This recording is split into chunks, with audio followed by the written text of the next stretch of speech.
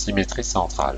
Les deux figures sont symétriques par rapport au point rouge. Je pars de la figure bleue, je la fais tourner d'un demi-tour autour du point rouge et elle se superpose sur la figure verte.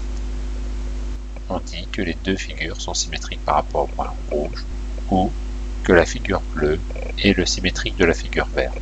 On peut aussi dire que la figure verte est le symétrique de la figure bleue par rapport au point rouge.